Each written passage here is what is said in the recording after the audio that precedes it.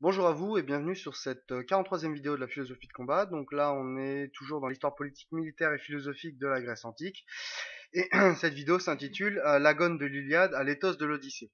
Donc, dans cette vidéo, je vais vous raconter ce qui se passe dans l'Iliade et dans l'Iliade et l'Odyssée. Donc, je vais résumer évidemment, mais je vais vous raconter l'essentiel de ce qui s'est passé dans ces deux ouvrages.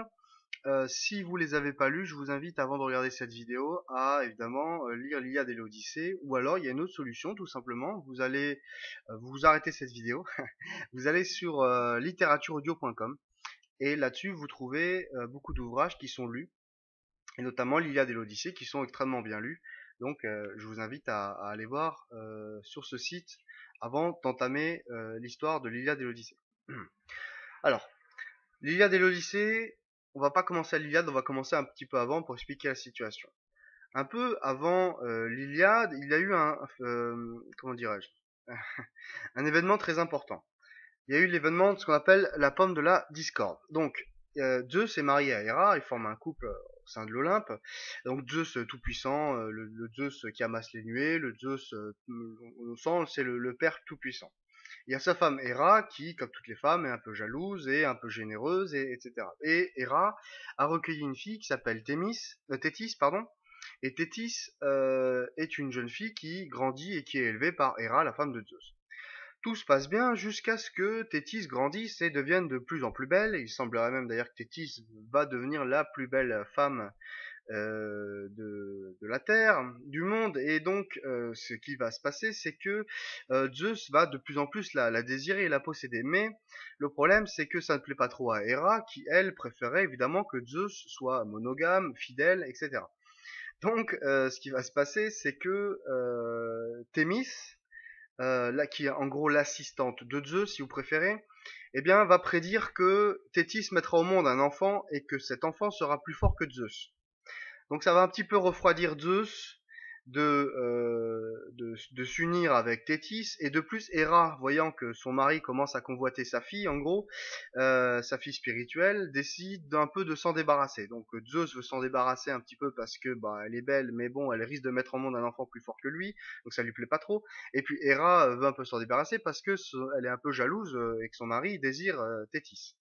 Donc Tétis, euh, on va la marier à un humain, comme ça on risque de, euh, enfin on a de fortes chances que l'enfant qui mettra au monde sera euh, un enfant normal, donc pas plus fort que Zeus. Conséquence de quoi les dieux veulent la marier, elle sera mariée à Pélée le roi de Phti, qui est pas un mauvais parti, mais bon.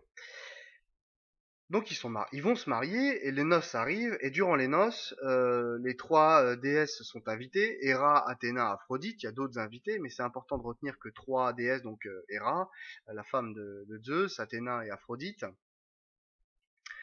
sont invitées. Mais une déesse n'est pas invitée, c'est Eris. Et Eris, c'est la déesse de la discorde.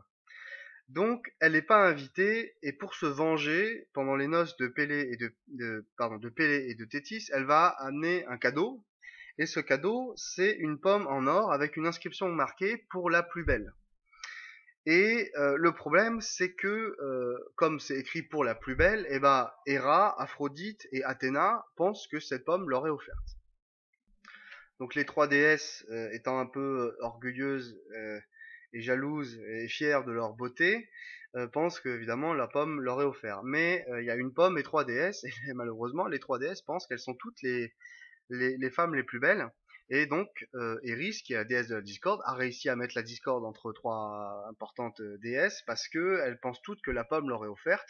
Et donc elles commencent à se crêper le chignon pour savoir à qui la pomme va appartenir.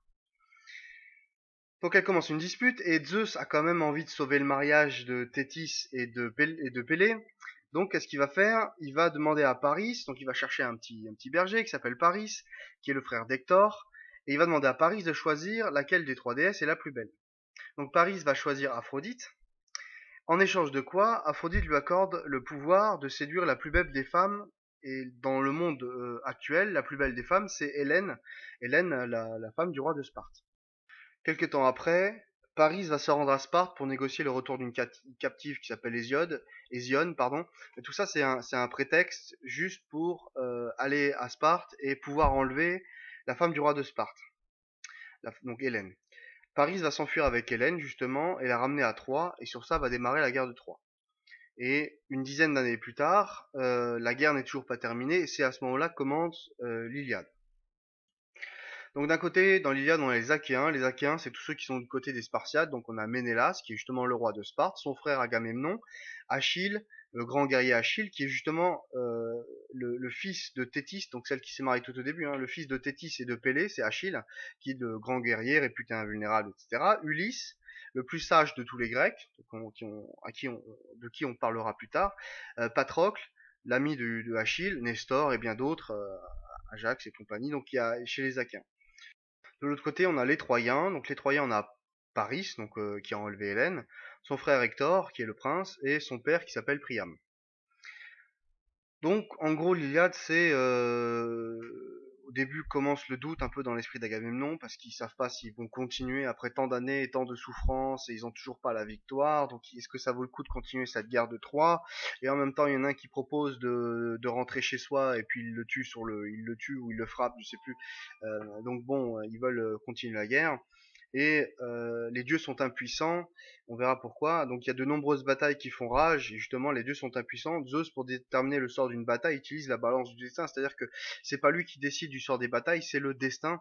Euh, ce qui va me permettre justement de, parler des, ce qu'on appelle alors il y a deux concepts pour le destin chez les Grecs. Hein. Il y a la Moira. La Moira, c'est le destin, c'est la, on va dire, même plus un concept ou la divinité du destin.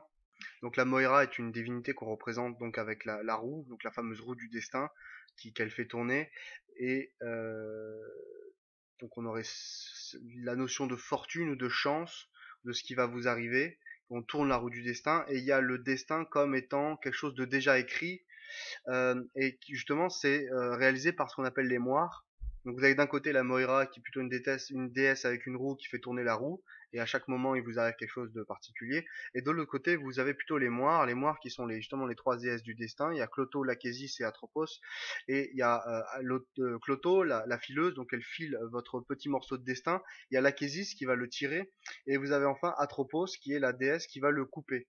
Et donc c'est votre petit, votre petit morceau de destin à vous qui est réalisé ou brodé par ces trois déesses là. Et Zeus, pourtant, qu'on imagine tout puissant, ben, il peut pas décider du sort des batailles, il peut pas mettre fin à la guerre, justement. C'est pour ça qu'elle dure. À chaque fois qu'il y a une bataille, euh, Dieu, euh, pardon, sort son la, balance euh, du destin et elle penche en faveur des Achéens, elle penche en faveur des Troyens, mais il ne décide de rien. Et les dieux, justement, qui sont différents dieux, sont d'une part et d'autre de la de la rivalité, parce que certains dieux soutiennent justement les Troyens, d'autres dieux vont soutenir les Achéens, et personne justement ne trouve de de solution parce que c'est vraiment un conflit qui divise non seulement les hommes et en plus qui divise les dieux. Et il n'y a pas vraiment de victoire finale. Alors on a des descriptions de batailles à n'en plus finir de de, carnage de comment machin a tué bidule ça on en a plein des descriptions. Mais euh, voilà, ça c'est tout l'Iliade, c'est essentiellement, euh, une fois qu'on a passé le moment du doute, on a les différentes scènes de bataille. Euh, les dieux essayent d'intervenir pour sauver leur champion, parce que chaque dieu a, son champion, mais ils sont souvent blessés lors des affrontements. Et au fur et à mesure du livre, les Troyens, malgré tout, commencent à prendre de plus en plus l'avantage, jusqu'au moment où les Troyens sont pas loin de mettre le feu aux nefs de, nefs de guerre, donc c'est des navires de guerre, les nefs, aux nefs rapides des, des Achéens et euh, ça va donner envie à Patrocle d'aller se battre. Alors Patrocle c'est le meilleur ami d'Achille et Achille, les dieux ont prédit que c'est lui qui allait permettre de gagner la guerre de Troie. Malheureusement, euh, Achille s'est un peu euh, embrouillé avec Agamemnon parce que, pour une histoire de, captive et il est un peu fâché contre Agamemnon et refuse de se battre. Mais Patrocle, qui a très envie d'aider ses concitoyens, veut partir à la guerre et il va prendre les armes de euh, Achille pour le faire. Donc Patrocle met les armes d'Achille et euh, il pense que en étant équipé comme Achille, les Troyens vont s'enfuir de peur en imaginant que Achille va, va vouloir se battre. Donc Patrocle, qui a revêtu les armes de Achille, part à la guerre, part se battre, et il va se faire tuer par Hector, justement, qui est le prince, le fils de Priam et le frère de Paris. Suite à ça, Achille, qui avait choisi de ne plus se battre, va quand même euh, décider de sortir de sa tente, euh, va récupérer le cadavre de son ami mort et va vouloir le venger. Donc il va y avoir un affrontement entre Hector et Achille pour venger Patrocle et euh, Achille qui est évidemment euh, quand on a plongé dans le Styx quand il était petit donc il est invulnérable et enfin il est fils de dieu quasiment fils de déesse donc euh, voilà c'est c'est pas n'importe qui donc il va tuer tuer Hector et Hector qui était pourtant un bon père de famille un bon frère qui était vraiment un prince très un très quelqu'un de très bien va se faire tuer par par Achille suite à ça, Achille organise une sorte de jeu, de, de, jeu de concours euh, c'est des Jeux Olympiques si vous préférez, une sorte de Jeux Olympiques. Enfin, c'est des épreuves comme on les aurait eu aux Jeux Olympiques. Et ils organisent ces épreuves-là pour honorer la mort de, Patrocle. Et euh, il y a euh, ce moment extraordinaire où on est un peu vers la fin de l'Iliade et les dieux sont pas loin de, de, de, de s'entretuer entre eux, littéralement de, de faire une guerre entre eux. Les dieux sont pas loin de s'entretuer parce que ils trouvent que, et ça c'est un trait de la culture grecque, ils trouvent que c'est pas normal que Hector, qui soit fait tuer par Achille, ne soit pas enterré dignement. Ce qui est très important, la, notion de sépulture chez les Grecs est extrêmement importante. Cette notion est extrêmement importante, pardon. Donc, euh, ce, qui, se passe, c'est que Priam va sortir de, Troie et aller demander à supplier, même d'ailleurs à Achille, de lui rendre le corps de son fils pour justement pouvoir l'enterrer dans euh, à Troyes et honorer sa mémoire. C'est ce que euh, donc au moment où tout allait, euh, tout le monde allait s'effondrer, les dieux allaient s'entretuer et le corps d'Hector n'allait pas justement aller être en terre, eh bien Achille craque et décide quand même que ce serait bien qu'il puisse être enterré et donne le corps à Priam. Priam va pouvoir l'enterrer justement à Troyes et voilà comment finit l'Iliade avec l'enterrement de d'Hector donc ça c'est l'Iliade en gros, euh, c'est des scènes de bataille, c'est des, on, a beaucoup de descriptions de, de, de, récits de bataille où un tel prend son javelot pour transpercer euh, l'autre, etc. Où il prend un rocher par terre tout en étant blessé, mais la force que lui donne le dieu à ce moment-là lui permet de se relever pour fracasser la tête de l'autre avec un, etc., etc. Donc c'est que ça pendant euh, pendant des, heures et des heures, mais euh, c'est vraiment intéressant. Il y a beaucoup de choses dans ce texte, et je vous ai parlé de l'agone de l'Iliade. Alors qu'est-ce que l'agone? L'agone, on pense que les Grecs, enfin j'ai souvent lu, les Grecs sont une société de l'agone, c'est-à-dire une société dans laquelle on cherche à être le meilleur, le meilleur guerrier, le meilleur stratège, le meilleur soldat, le meilleur musicien, le meilleur poète, le meilleur sculpteur, le meilleur écrivain, dramaturge, le meilleur citoyen, le meilleur sportif, le même la meilleure cité. On veut être le meilleur, le plus grand, le plus beau, le plus fort. Et pour être le meilleur, il faut ce qu'on appelle l'agone. Il faut le l'excellence. et comment on sait qu'on est excellent? On est excellent parce qu'on s'affronte à l'autre. L'affrontement, le concours. Vous voyez, il y a le, il y a cette, c'est vraiment l'idée des Jeux Olympiques. Finalement, on a euh, les mêmes règles pour tous et un objectif. Et c'est celui qui réussit l'objectif qui a gagné entre guillemets.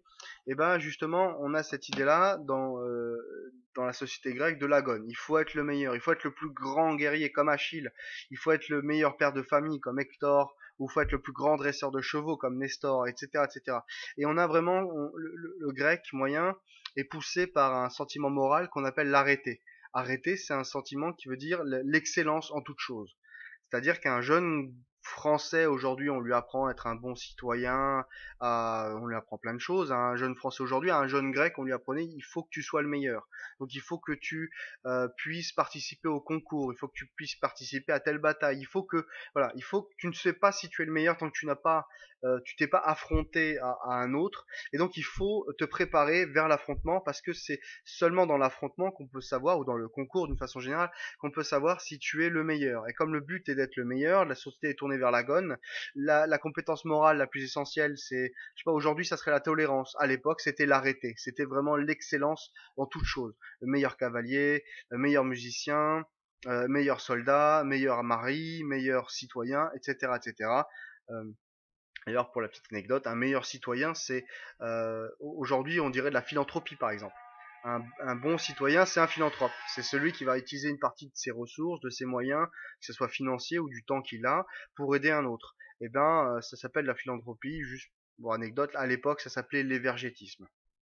Et ce sentiment de l'excellence, que ce soit l'excellence morale, l'excellence de justice, ou peu importe le type d'excellence dans on parle, eh ben ça va se retrouver même en philosophie, ou quand on parlera par exemple de la métaphysique d'Aristote, eh bien, ce que fait Aristote dans ce livre, ou même dans la politique d'Aristote, on a cette vérité où il va comparer tout ce qui existe autour de lui en termes de politique, de constitution, de loi. Il va, dans la métaphysique, comparer tout ce qui existe autour de lui en termes de, d'explication du monde, de ceux qui veulent donner un sens au monde, et il va essayer de, de tout faire fonctionner. Alors, il va donner son point de vue, évidemment.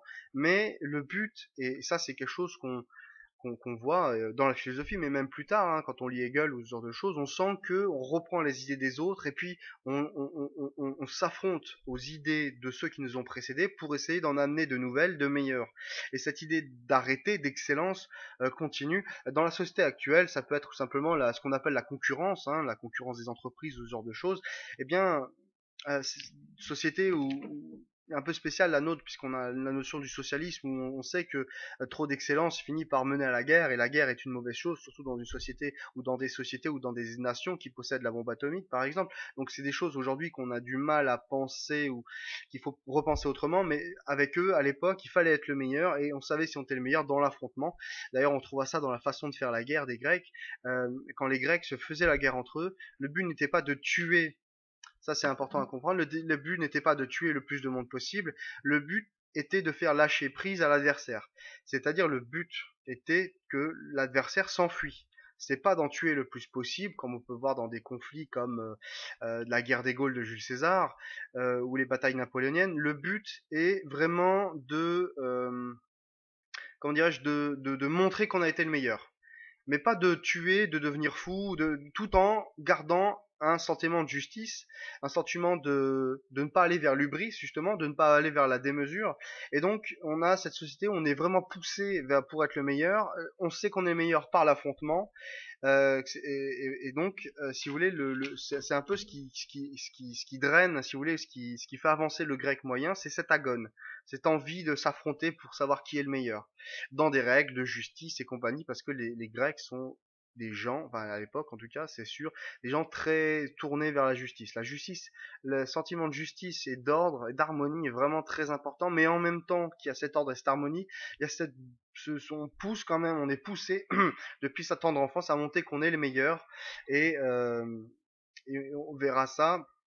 Mais il faut prendre cet aspect-là de la société comme étant euh, vraiment ça. C'est l'agone de l'Iliade. Dans l'Iliade, euh, ça cherche pas à quatre chemins. Voilà, c'est Hector à un moment donné. On a, on a ce qu'on attend depuis le début. On a Hector d'un côté, on a Achille de l'autre, et ils vont. Euh, bon, alors ça, le combat dure pas très longtemps malheureusement, mais ils vont, euh, voilà, ils vont, ils vont partir au combat. Ce sont les deux meilleurs. Hector est le, meilleur père, guerrier, prince, tout ce que vous voulez. Achille est le meilleur guerrier, il est protégé des dieux, etc. Et ils vont s'affronter. Malheureusement, Hector meurt, mais c'est pas grave. C'est en tout cas, on a su qui était le meilleur. Alors c'est triste quand c'est d'une façon violente. Euh, on sait aussi chez les Grecs, on savait faire les choses de façon civilisée, si j'ose dire. C'est-à-dire que on savait savoir qui était le meilleur sans s'entretuer. C'est quand même une, une, grande marque de civilisation quand on a, on est poussé vers l'avant pour être le meilleur et en même temps on arrive à le faire sans s'entretuer. Donc l'Iliade s'arrête à la mort d'Hector. C'est Virgile qui va écrire, donc beaucoup plus tard, euh, ou qui va reprendre, parce que peut-être qu'il nous manque un, épisode qu'aurait écrit Homère, mais qu'on n'a pas. Mais en tout cas, c'est dans Virgile, dans les Énéades, donc la suite de ce qui va arriver aux descendants de Troie. Euh, eh bien, on a cet épisode du cheval de Troie. C'est comme ça qu'ils vont prendre la ville de Troie. Donc l'épisode du cheval de Troie, c'est simple. Hein, c'est euh, Troie a été pris comment? Tout simplement les Achéens, voyant bien qu'ils n'y arrivent pas à gagner la guerre d'un moyen ou d'un autre, eh bien, ils vont euh, faire une ruse. Ulysse, qui est le plus sage de tous les Grecs, propose une ruse de guerre qui est simple. On va faire croire à l'ennemi quoi On va lui faire croire que euh, on est tous morts ou le campement a été rasé par la peste. Et euh, les dieux vont offrir en cadeau un cheval euh, aux Troyens. Et donc, quand les, Troyens vont sortir de leur citadelle, ils vont voir un cheval en bois euh, juste devant, sur la plage, et toutes les nefs seront reparties. Et donc les Troyens penseront qu'ils ont gagné la guerre et que les Achéens sont, sont loin ou sont morts. Et ensuite de quoi, ce qu'ils ne verront pas, les Troyens, c'est que des Achéens, justement, dont Ulysse, se seront cachés dans le cheval de Troie, et que le soir même, quand le cheval de Troie sera dans la ville de Troie, eh bien, les Achéens vont sortir du cheval pour ouvrir les portes de la ville. Pendant ce temps-là, les Achéens qui sont repartis sur leur nef rapide vont revenir et vont prendre d'assaut la ville. les portes seront ouvertes, donc ils pourront rentrer dedans et prendre d'assaut la ville. Et donc, ça, c'est euh, la prise de Troie, et bon, un certain nombre d'événements euh, le pillage de la ville, hein, qui, est assez brutal, hein, faut dire la vérité tout simplement. Et euh, la ville est en flammes quand Ulysse décide de repartir chez lui à Ithaque, et donc ça c'est le début de l'Odyssée. Euh, Odyssée plus intéressant à lire, c'est plus, euh, il y a plus d'aventures dans l'Odyssée, c'est plus intéressant selon moi. Moi, je, préfère personnellement l'Odyssée, mais bon. Et donc là, je vais parler de ce que je disais, l'éthos de l'Odyssée.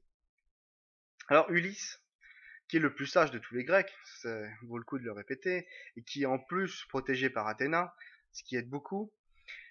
Eh bien, une fois la guerre finie, il veut rentrer chez lui, et chez lui, ça s'appelle Ithaque. Euh, donc il va vivre une série d'épreuves avant de pouvoir rentrer chez lui. Donc euh, je, vous explique les deux premières les plus connues, puis après il y en a un certain nombre. Hein. Donc la, première c'est qu'il est chez une déesse qui s'appelle Calypso. Donc Calypso ça veut dire ça veut dire caché, enfin Calyptène, caché, euh, celle qui cache si vous voulez. Donc l'étymologie hein, du nom de la, déesse a un sens. Et Calypso est follement amoureuse d'Ulysse.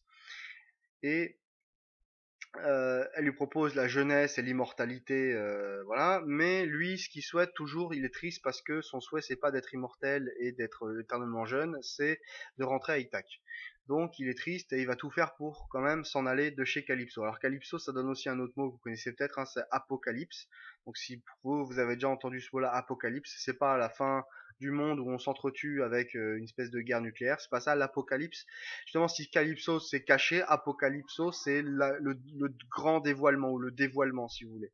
Donc à la fin du temps, il n'y aura pas une grande guerre qui on va tous mourir, non, il y aura un grand euh, dévoilement, une grande vérité, si vous voulez. C'est ça l'apocalypse. Bon, Deuxième épisode, l'épisode du Cyclope, donc euh, évidemment Ulysse repart avec ses compagnons sur son navire, il va vivre plein d'aventures. Il y a celui du Cyclope, et le Cyclope, pour sortir de sa caverne, ils se font enfermer dans la caverne du Cyclope. Pour euh, s'en sortir, ils vont crever l'œil du Cyclope et se cacher sous une peau de mouton pour sortir de la grotte, parce que tous les jours, le Cyclope, justement, ouvre euh, la porte de la grotte qui est bloquée par un énorme rocher il, ouvre ce rocher, il compte ses moutons, comme il a l'œil crevé, il ne voit pas, Ulysse et ses compagnons se cachent sous ses peaux de moutons et euh, peuvent sortir de la grotte, le euh, cyclope est furieux, mais ça change rien.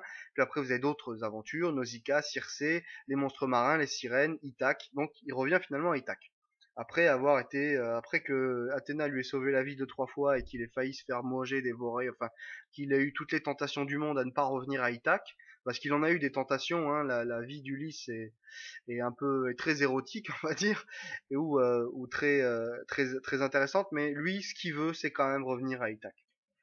Donc pendant ce temps-là, à Ithaque, justement, euh, Ulysse a fait dix ans de guerre, la guerre de Troie pendant dix ans. Il va mettre à peu près une dizaine d'années à, revenir enfin à Ithaque. Et pendant ce temps-là, tous les jours, Pénélope reçoit ses prétendants. Les prétendants viennent la voir. Ils lui demandent s'ils peuvent pas devenir roi, etc. Si elle s'est décidée à choisir un nouveau, un nouveau roi, elle dit toujours que non. Ulysse va revenir, etc. Bon bref, elle veut pas d'un nouveau roi. Et les prétendants, pour se venger du fait qu'ils sont pas choisis comme étant euh, eh bien, le futur roi d'Ithaque, eh bien, euh, tous les jours, ils vont se servir dans la réserve de nourriture euh, du palais pour euh, se faire un festin. Et donc tous les jours, ils viennent et ils grignotent et ils mangent et ils dévorent toutes les ressources d'Ulysse et de Pénélope. Et cette situation fait énormément souffrir Pénélope et son fils Télémaque. Et voilà, donc c'est un peu la vie quotidienne à, à, où tous les jours ils viennent, ils dévorent, ils mangent et, les ressources. Donc Ulysse euh, va réussir à rentrer à Ithaque finalement euh, sous les traits d'un vieux mendiant euh, grâce à la magie d'Athéna. Hein, c'est Athéna qui par sa magie le déguise en vieux mendiant. Et Ulysse se met un peu au parfum de la situation et de ce qui se passe, et il va rencontrer son ancien bouvier, puis son fils, et puis il va lui dévoiler un plan pour lutter contre les prétendants. lors d'un festin, donc les comme, comme tous les jours, les, prétendants vont au palais pour essayer de demander la main de Pénélope. Pénélope va refuser. Et ils vont commencer à dévorer toutes les, ressources qu'ils peuvent trouver. Euh, et évidemment, pendant ces banquets, vous avez un certain nombre de, on va dire de, aujourd'hui on dirait de SDF, mais à l'époque on aurait dit simplement des mendiants qui viennent au banquet pour essayer d'avoir quelque chose euh, sur le sur le, repas qui est en train de se faire. Et donc, euh, déguisé en mendiant, Ulysse va voir les prétendants et il se rend compte à quel point ces prétendants sont méchants, à quel point ils sont euh, vulgaires, à quel point ils sont agressifs, à quel point, enfin bon, c'est vraiment des gens qui sont pas très bien. Et il se fait vraiment une opinion très claire de leur cruauté, de leur mépris, etc. Donc il va préparer la, salle de, de banquet en euh, retirant toutes les armes des murs et en espionnant les servants et les servantes, parce que dans la maison royale, vous avez un certain nombre de servants qui sont du côté et qui complotent en gros avec les prétendants pour euh, devenir reine, ou voilà, vous voyez un peu le genre de la situation. Et puis vous avez ceux qui sont restés euh, fidèles à Ulysse et qui attendent son retour, même si ça fait 20 ans, c'est pas grave, ils attendent, il va revenir, etc. Donc lui, euh, Ulysse prend bien le temps de, de voir comment se passe la situation il fait le, tri entre ceux qui lui sont restés fidèles et ceux qui ne sont pas restés fidèles à lui. Il retire les armes de la salle de banquet et il va dire à Ithac, voilà, tu vas voir ta mère, tu lui dis en gros de choisir un prétendant et l'épreuve, ça sera euh, celle que je vais t'indiquer. Donc l'épreuve en question, ça sera euh, Pénélope se décide, alors je vous lis, hein. Pénélope se décide, à, choisir un prétendant avec une épreuve de tir à l'arc. Ils doivent bander l'arc d'Ulysse et traverser douze fers de hache. Télémaque fait semblant d'échouer et euh, c'est au tour des prétendants d'essayer. Tous les prétendants vont aussi échouer et ils n'arrivent pas à bander l'arc. Et Ulysse, qui est toujours déguisé en mendiant, demande s'il a le droit d'essayer. Évidemment, tout le monde se moque de lui, me dire non, et puis finalement, Ulysse euh, prend, euh, toujours déguisé en mendiant, prend son arc. Alors il est déguisé en mendiant, c'est bien fait, hein, il a des bras tout petits, il est tout faible et tout, il, ressemble à rien du tout, mais en vrai, il a la vraie force du vrai Ulysse. Quoi. Donc il prend l'arc, et quand il prend l'arc, euh, il met une flèche dessus, et puis la magie d'Athéna s'évapore, et là on voit que c'est Ulysse. Ulysse qui est... donc qui prend son arc, qui va décocher une flèche et tuer un des prétendants. Et là, va y avoir cette grande scène de carnage dans le palais royal où euh, c'est un peu bas les masques, justement l'apocalypse pour le coup, c'est le moment du dévoilement où euh, Ulysse, euh, voilà, il, enlève son déguisement, il a l'arc, il en, dégomme un des prétendants, et puis il sort son, il sort son, bouclier, sa lance, enfin il sort ses armes, et Télémaque en fait pareil, il sort aussi ses armes, et là on est dans la scène du banquet où on a Ulysse et Télémaque qui sont armés jusqu'aux dents, et jusqu'aux dents, et les prétendants qui sont sans défense et qui savent plus quoi faire, parce qu'il y a les deux qui sont là et qui vont commencer à les massacrer. Après le massacre, Ulysse va retrouver Pénélope pour partager un moment d'éternité, enfin, et le lendemain, euh, les familles des prétendants viennent se venger de la mort de leurs proches. Et au moment de l'affrontement, Athéna intervient pour rétablir la paix. Donc Athéna arrive et elle dit, euh, et je vous lis un peu la fin de l'Odyssée, Cessez, Ithaquiens, cette lutte terrible, et sans verser plus de sang, séparez-vous le plus vite possible. Ainsi dit Athéna, et une verte épouvante les appréhenda tous. Leurs âmes, sous la peur, s'échappèrent de leurs mains, et toutes, au cri de la déesse, s'abattirent sur la terre. Puis tout au désir de conserver leur vie, ils s'enfuirent vers la ville. Le divin et endurant Ulysse poussa un cri terrible, se ramassa sur lui-même, et bondit comme un aigle qui fond du haut des airs. Mais le fils de Cronos à ce moment tardarda sa foudre fumante et la fit tomber aux pieds d'Athéna. La fille aux yeux pères d'un formidable père, Athéna. La déesse aux yeux pères dit alors à Ulysse. Descendant de Zeus, fille de Laerte, artificieux Ulysse, arrête-toi et mets un terme à la guerre, aux communes épreuves, si tu ne veux pas que le fils de Cronos, Zeus au vaste regard, contre toi ne s'irrite. Ainsi dit Athéna, Ulysse obéit, et son cœur fut en joie la fille de Zeus, Portégide, Pallas Athénée, qui avait pris de Mentor et la taille et la voix, établit ensuite entre les deux parties les conventions gagées sur des serments. Les conventions gagées sur des serments, c'est justement là où je voulais en arriver. Et euh, Pallas Athénée, juste au cas où vous avez oublié, c'est Athéna la sage. Donc, on a justement Athéna la sage vient et elle, elle demande aux hommes de mettre en place des serments.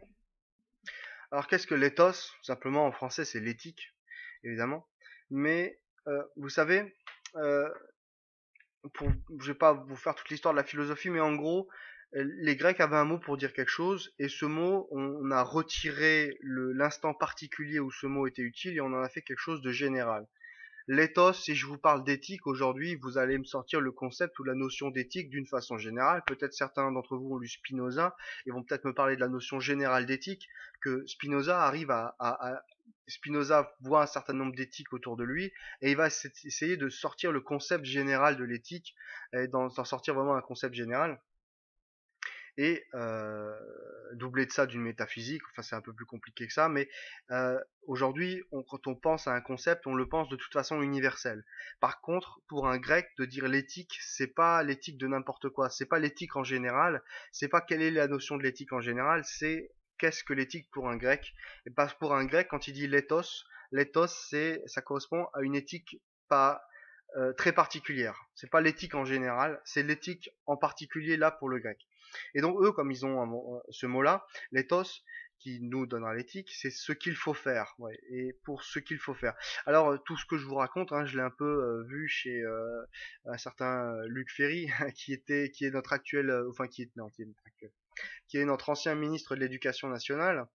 Et Luc Ferry a fait un certain nombre de DVD, de cassettes, de de DVD, de CD, de livres audio, ce genre de choses. Et je vous invite à écouter ce qu'il a raconté de tout ça euh, pour lui, et je vais aller dans son sens. Donc voilà, je mets en avant Luc Ferry, euh, notre ancien ministre de la culture ou de l'éducation nationale, voilà. Eh bien, euh, il avait trouvé que pour lui l'éthique, ça correspondait justement au fait de revenir à l'endroit où on est chez soi, de partir de chez soi et faire la guerre de comment dire quand quand Ulysse était jeune, il est parti faire la guerre pour euh, pour Ménélas, pour Agamemnon parce que c'était l'honneur des Achéens et des Grecs d'aller faire la guerre et ça lui semblait bien. Et puis le temps passant, étant de plus en plus loin de chez lui, je pense que pour lui, ce qui est faire le bien, c'est de retrouver sa place. C'est-à-dire que à un moment donné, sa place était auprès de, de, Ménélas pour faire la guerre à Troie, et puis à un autre moment, sa place, elle est justement à côté de sa femme et de son fils à Ithaque. Et euh, justement, pour Louis Ferry, c'est intéressant de voir que cette notion d'éthique dans, les textes antiques, c'est justement retrouver sa place. Parce que, comme le disait justement, euh, je reviens encore à Louis Ferry, si euh, il cherchait autre chose, euh, comment s'appelle Ulysse, il aurait pu très bien rester chez Calypso, il aurait pu très bien rester chez Circé, il aurait pu très bien rester avec Nausicaa, et bref, il aurait pu vivre une autre vie. Mais non, il fallait qu'il revienne là où sa vie était, là où il était à la bonne place. Et euh, la bonne place pour lui, euh, maintenant qu'il est un peu plus âgé, euh, notre Ulysse est toujours aussi sage, mais plus âgé, c'est quand même de revenir là où sa place a un sens, là où, il est à sa place. Et je vais dans le sens de Luc Ferry dans ce cas-là pour dire que justement, il est à sa place à Ithaque, comme roi d'Ithaque, marié à Pénélope et avec son fils Télémaque. Donc l'éthos, là pour le coup, c'est rentrer à Ithac, reprendre sa place, trouver sa place et prendre sa place dans ce monde euh, que les moires justement nous ont laissé, que les moires nous ont filé, si j'ose dire. Eh bien cette place-là, ce part de destin qui nous est revenu, eh bien il faut prendre sa place dans le monde et l'éthique euh, très clairement là pour le Ulysse, c'est de revenir à, à et, et on a justement deux notions fondamentales. Là, j'en suis enfin arrivé là où je voulais en venir. Dans l'Iliade, on a euh, cet affrontement euh, guerrier. on veut savoir qui est le meilleur. On a même à la fin, pour bien appuyer sur ce fait-là, on a des jeux les gens font des jeux, une sorte de jeux olympiques pour honorer la mémoire de, de qui s'est fait tuer. Eh ben, on veut savoir qui est le meilleur. Eh bien, dans l'Odyssée, euh, ça serait intéressant de se dire que c'est plutôt un texte de vieillesse, mais c'est plutôt un texte de plus sage, où le héros est le plus sage de tous les Grecs, justement, et lui, son objectif, c'est de faire en sorte que les choses reviennent euh, à une certaine harmonie. Et une harmonie par des serments, justement. À la fin de l'Odyssée, on parle de serments. Eh bien, eh bien, je vais pas vous parler de serment bientôt, mais je vais vous parler de constitution. Et donc ça me permettra justement de parler de Lycurgue, de Sparte et de Solon d'Athènes. Mais on a cette notion que on a ces deux caractères vraiment très forts de la de la pensée grecque. On a en même temps être le meilleur et tout en étant le meilleur, il faut être à sa place. C'est très contradictoire finalement. Euh, on veut être le meilleur, la gonne, voilà, et le meilleur citoyen, le meilleur guerrier, etc. Et puis d'un autre côté, il faut aussi trouver sa place et rester à sa place. Et c'est euh, très contradictoire, mais en même temps, ça, donne un peu le sel de la vie du quotidien du grec. Il veut être le meilleur, mais il veut aussi être à sa place. Et c'est très, euh, c'est un peu contradictoire parce qu'on peut dire si on veut être le meilleur, on risque de ne plus être à sa place. Et à l'inverse, si on est trop à sa place, on ne cherche pas à être le meilleur, on ne cherche pas à s'améliorer. Donc il y a une certaine euh, contradiction. Le, le, grec est tiraillé entre l'agone, il faut être le meilleur, l'éthos, il faut être le plus raisonnable possible. Et c'est parfois contradictoire, je pense. Mais euh, c'est contradictoire, et c'est parce que c'est contradictoire que c'est génial. Dans le sens où, justement, si on cherche d'un côté à être le meilleur, il faut aussi dire cherche aussi à être le plus sage et le plus raisonnable possible. Parce qu'on sait que l'idée d'être vouloir être le meilleur peut entraîner une certaine hubris, une démesure, une folie.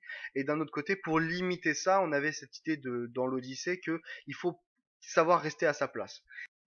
D'ailleurs, ces notions-là sont explorées euh, dans les noms même des personnages, puisque je suis allé m'intéresser à savoir qu'est-ce que Achille ça veut dire. Alors, c'est là, cette partie-là, elle est vraiment sujette à interprétation. Vous pouvez ne vraiment pas être d'accord avec moi, et même moi, je suis pas sûr d'être d'accord avec moi-même, mais je vous propose cette idée-là, c'est que Achille, c'est Achille Laos. Laos, euh, c'est le peuple, euh, non pas les euh, citoyens, c'est le peuple en général. Et Laos, c'est le, celui qui crée ou donne la souffrance du peuple.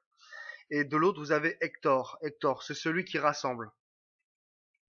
Eh bien, finalement, quand celui qui rassemble et celui qui fait souffrir le peuple se rencontrent dans un duel, eh bien, c'est celui qui fait souffrir le peuple qui euh, va l'emporter. Et au-delà, voilà, si je dis que justement l'Iliade c'est l'Iliade c'est l'agone, c'est le l'agone euh, jusqu'au bout, eh bien on se rend compte que finalement c'est la souffrance qui gagne quand on cherche le meilleur.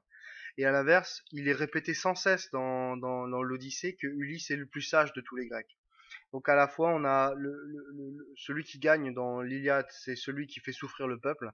Et donc, voilà ce qu'à quoi peut amener l'agone aussi, à la souffrance de tout le monde. Et puis de l'autre, vous avez euh, Ulysse euh, dans qui est le plus sage de tous les Grecs, qui cherche l'éthos, il cherche à, à, être dans euh, la bonne mesure, à reprendre sa place.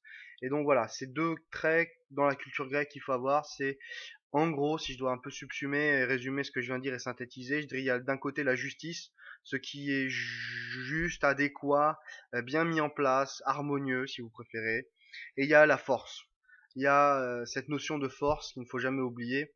Euh, la, force, la force comme une force qui augmente, qui augmente, qui augmente, et qui n'a pas forcément de limite. Et puis d'un côté, la, bonne limite de la force, on dira, ce sera la justice. Bon voilà, on peut, voir ça comme ça. Donc force et justice. Euh, la notion de justice, on va la retrouver de façon de ce qui est juste de faire. C'est vraiment quelque chose qui préoccupe les Grecs. C'est impressionnant.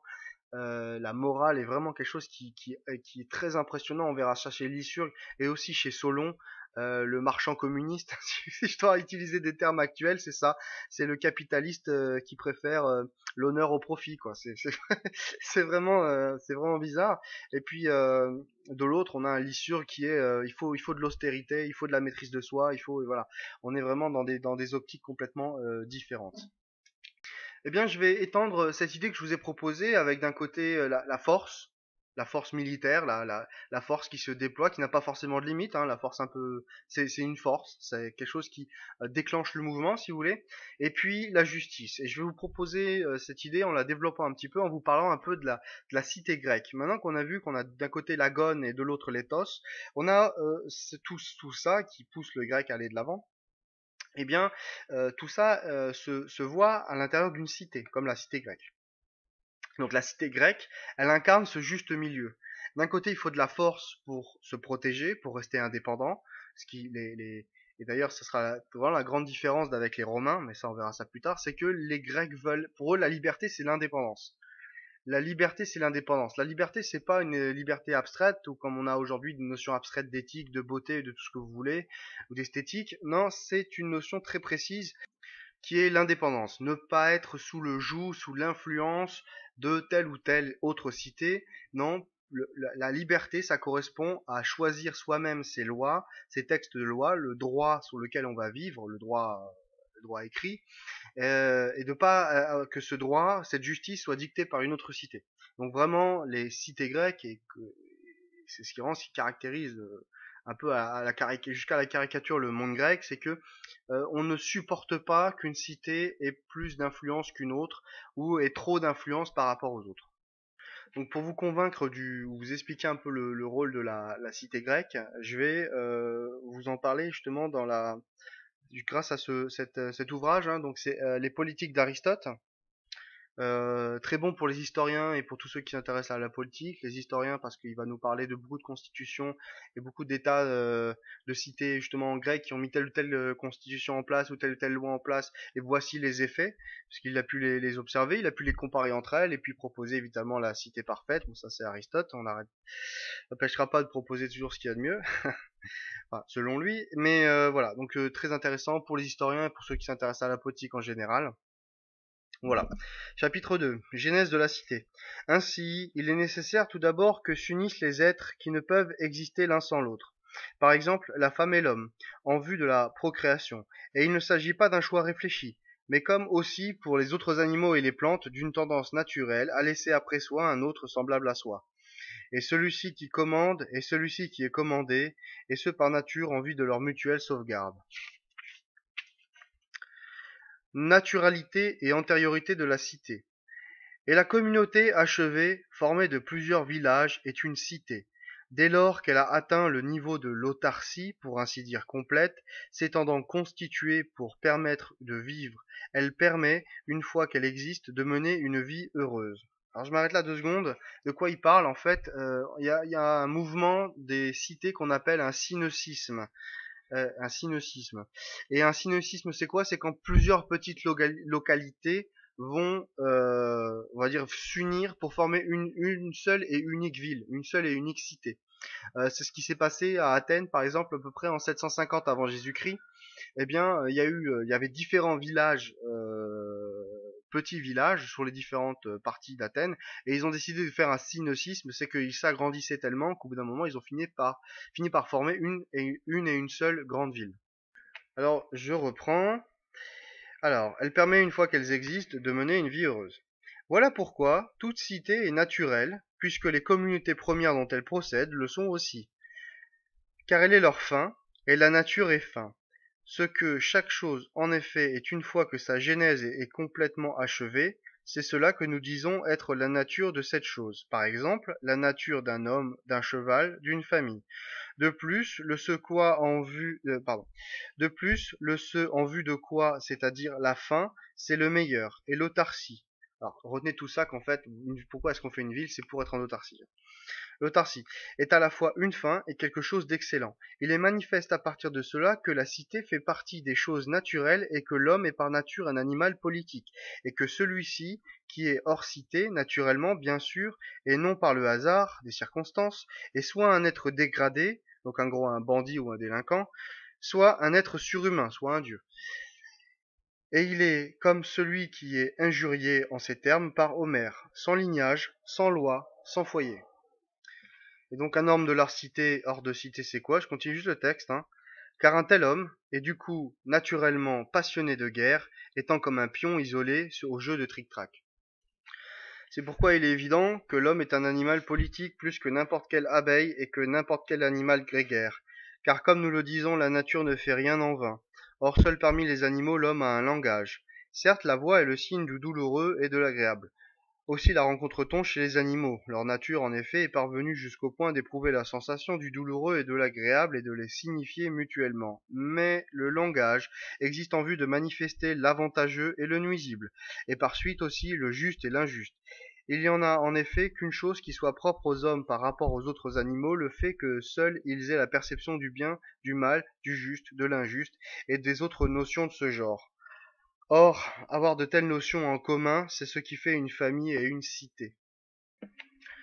Et un peu plus loin, c'est donc par nature qu'il y a chez tous les hommes la tendance vers la communauté et de ce genre, mais le premier qui l'établit n'en fut pas moins cause des plus grands biens. De même, en effet, qu'un homme accompli est le meilleur des animaux, de même aussi quand il a rompu avec loi et justice est-il le pire de tous, car la plus terrible des injustices, c'est celle qui a les armes. Or, l'homme n'est pourvu d'armes en vue d'acquérir prudence et vertu, donc il peut se servir à des fins absolument inverses. C'est pourquoi il est le plus impie et le plus féroce quand il est sans vertu, et il est le pire des animaux dans ses dérèglements sexuels et gloutons. Or, la vertu de justice est politique, car la justice introduit un ordre dans la communauté politique et la justice démarque le juste de l'injuste.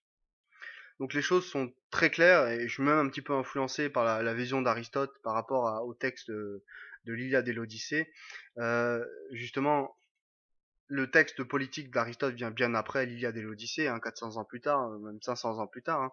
Mais euh, ce qui m'intéresse vraiment, c'est cette façon dont Aristote a à dire pourquoi est-ce qu'on a décidé premièrement parce qu'on veut être en autarcie, euh, deuxièmement parce qu'on veut la justice, et euh, troisièmement, parce qu'on sait que l'homme sans justice euh, peut devenir le pire des animaux. Et on veut pas revenir à l'Iliade, on veut pas revenir à des guerres qui n'en finissent pas, des, les meilleurs se font tuer. D'ailleurs, Hector se fait tuer, c'est pas Achille qui meurt, c'est Hector. Hein. Même si Achille d'ailleurs n'est pas un mauvais mais enfin c'est quand même Hector qui meurt. Euh, et finalement, ce qu'on veut, c'est la régulation, la justice, l'autonomie, et cette, cette possibilité est offerte par la cité, et seulement par la cité. Alors pour arriver à cette à créer une cité, je vous ai parlé du, de ce qu'on appelle un synocisme. Au moins une fois qu'on a une cité avec des murailles, la population grandit et on a ce qui arrive, c'est un phénomène que les Grecs ont appelé la sténochoria. La sténochoria, c'est le sentiment d'être à l'étroit ou d'être trop à l'étroit, c'est-à-dire qu'il y a une population qui grandit, qui va bien, etc., mais euh, pas assez de ressources pour nourrir tout le monde. Et donc ce problème de sténochoria euh, va euh, très vite arriver puisque là, on a des très belles villes en Grèce, mais malheureusement peu déjà la Grèce est pas très fertile et donc peu d'habitants peuvent habiter au même endroit. Donc pour quand la population grandit, qu'on n'a pas de place, qu'est-ce qu'on fait concrètement? Eh bien il y a eu deux solutions. La première la, colonisation, donc on va justement on va on va déplacer une partie des populations, elles vont chercher un autre endroit où habiter. Et la deuxième qu'on a trouvée, c'est de, légiférer, d'avoir une législation. Donc là, vous pouvez voir une carte euh, que j'ai trouvée sur euh, sur Wikipédia qui est très qui est très très bien faite d'ailleurs. Nickel, j'aurais pas pu faire mieux. Euh, en bleu, c'est la colonisation des Hélènes, donc des Grecs. Et en rouge, bon, la colonisation phénicienne, c'est pas très intéressant. Comme vous voyez, le sud de l'Espagne, hein, essentiellement le, nord du Maghreb est, d'origine phénicienne, ça deviendra plus tard Carthage, mais tout ça c'est pas encore euh, ce qui nous occupe. Ce que je veux que vous remarquiez, c'est la présence des euh, Grecs partout en Méditerranée, euh, ça va de Marseille, vous en avez un peu en Espagne, vous en avez en Corse, en Sardaigne, en Sicile, au sud de l'Italie, tout, le long de, la mer Égée, un peu en Libye, euh, voilà, et tout le long de, euh, la Turquie, et aussi au-dessus vous avez la mer Noire, et tout autour de la mer Noire. Alors ils appelaient pas ça la mer Noire à l'époque, ils appelaient ça le pont Euxin, le pont Euxin, mais ça, on aura l'occasion de le revoir plus tard pour comprendre les enjeux politiques d'Athènes, puisque euh, justement, euh, une autre solution qu'on trouvera pour euh, régler ces problèmes de surpopulation, c'est le commerce, mais ça, on verra ça avec Solon. Donc, essentiellement, les Grecs sont partout tout autour de la Méditerranée et ce qu'il faut bien comprendre, c'est qu'en 550 avant Jésus-Christ, là c'est une carte de 550, mais plus le temps va passer et plus le pourtour méditerranéen va être hellénisé. Parce que avant, euh, ça j'ai appris ça récemment en, lisant des travaux sur l'histoire, mais euh, avant qu'on ait la conquête romaine, le monde euh, méditerranéen était essentiellement hellénisé. Et d'ailleurs, finalement, si on regarde ce qu'ont produit les Romains en termes de culture, elle est extrêmement proche de la culture grecque. Donc en fait, toute l'Europe à une époque et à cette époque-là était hellénisée parce que les terres de Grèce étaient pas très fertiles, il y avait une population abondante et comme on ne pouvait pas nourrir tout le monde, les gens justement sont partis un peu partout et euh, c'est ce qui donne cette carte où en bleu, encore une fois, vous avez toutes les colonies grecques. Et toute cette colonisation en partie a été possible grâce, je vous le rappelle, à la Pythie de Delphes, chez laquelle on allait justement euh, discuter, avec laquelle on allait justement discuter ce genre de projet. Vous vouliez euh, partir de chez vous parce que chez vous il y avait trop de monde, en gros, euh, il y a une population trop abondante. Bon bah on va fonder une colonie à tel endroit. Est-ce que les dieux approuvent mon projet? Sachant que dans beaucoup de cités, peut-être les gens ont la même idée et puis euh, finalement les, prêtres vont peut-être vont peut-être vous dire vous orienter pour créer votre cité. Donc important de retenir ça. La colonisation comme solution face à ce manque de terre, ce manque de place. Euh, donc la colonisation, on parle bien sûr de la colonisation entre 700 euh, et 650 ou 550, plutôt 400 après Jésus-Christ, parce que la colonisation après, on va dire le après 500 après 500 avant Jésus-Christ, la colonisation sera plutôt pour des raisons économiques et militaires, c'est qu'on va coloniser des terres qui sont déjà habitées euh, ça, ça sera la stratégie de l'Empire athénien, on verra ça un peu plus tard. Mais avant ça, on a euh, la stratégie d'aller ailleurs, pour éviter justement quelque chose qui s'appelle la stasis. Et la stasis, c'est le mot grec que les mots, euh, c'est le mot que les Grecs ou le concept que les Grecs utilisent pour dire la guerre civile. C'est-à-dire que si vous ne faites rien pour empêcher la sténochoria, le, ce, ce, sentiment d'absence de terre, eh bien les gens vont finir par faire des clans et s'entretuer. Bon, pour éviter ça, parce que on pourrait aussi tous vivre dans un monde euh, et on pourrait tous bien s'entendre, eh bien, il y a cette solution de la colonisation. Mais il y a une autre solution pour éviter la stasis, donc la guerre civile, la guerre de tous contre tous, euh, ou ça peut être aussi des tout, petits problèmes qu'on a avec son voisin, ça peut être des problèmes de voisinage, c'est tout ça la stasis, mais au final c'est tout ce qui conduit plus ou moins vers la, guerre civile, et on avait justement la législation, donc tout ce qu'on pouvait mettre en place comme législation, parce que comme vous voyez on a un synocisme, c'est-à-dire qu'on a plusieurs villages euh, dans lesquels euh, forcément le, le droit n'est pas écrit, et tous ces villages se mettent ensemble dans une grande cité. Donc qui est-ce qui fait la loi? Qui est-ce qui fait le droit? Bah, Souvent, comme vous aviez plusieurs chefs de village qui se réunissent tous ensemble pour décider du sort de la ville, eh bien vous aviez justement ces basileus, tous ces grands basileus qui euh, se réunissaient pour décider de comment ils allaient faire pour euh, gérer la ville. Et le texte, le droit n'est toujours pas écrit. Euh, à l'époque de Dracon, donc 650 euh, avant Jésus-Christ à peu près, on a à Athènes ce, ce justement cette personne qui n'est pas un législateur, il n'y a pas de constitution, et le droit est rendu par un certain Dracon, et justement ça donne l'expression draconien, parce que quand on vole une miche de pain, en gros on se fait tuer quoi. Donc euh, là on est vraiment dans qui vole un œuf vole un bœuf, donc tout de suite tout prend des disproportions, et on n'a pas cette constitution encore qui va nous permettre de euh, mettre en place une euh, comment dirais-je une, vie harmonieuse.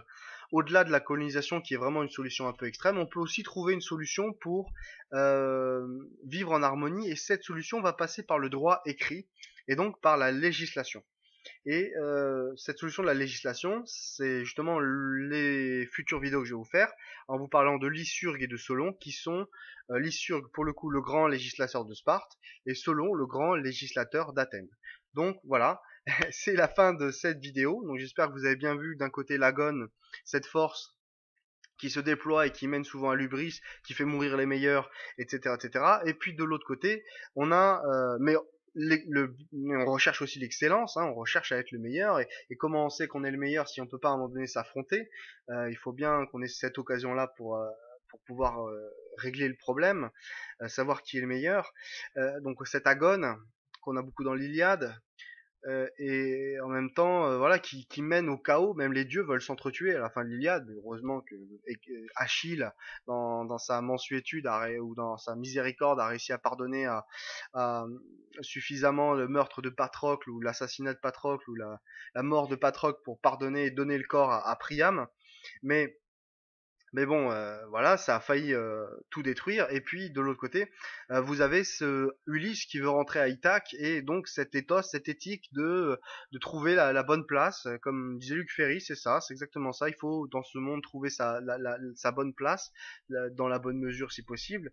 On voit que tout ça se, se, se concentre techniquement dans une cité dans laquelle on va vivre, euh, parce que hors de la cité, comme dit, euh, sans justice, l'homme est le pire des animaux, comme dirait Aristote, et eh bien justement, on avait cette solution que je vous ai présentée rapidement, sans entrer dans les détails, parce que c'est long et fastidieux, de la colonisation, donc le monde méditerranéen à l'époque est colonisé par les Grecs, pas parce que ça leur plaît, mais parce qu'ils n'ont pas le choix. C'est leur méthode pour euh, continuer à vivre en harmonie. Et puis l'autre solution, ça sera les grandes législations. Et euh, dans le prochain euh, vidéo, la prochaine intervention, je vous parlerai de Lycurgue, le législateur de, Sparte. Et je pense que la vidéo s'intitule Lycurgue et la grande rétra, qui sera donc le grand texte, la, la grande, comment dirais-je, constitution de Sparte.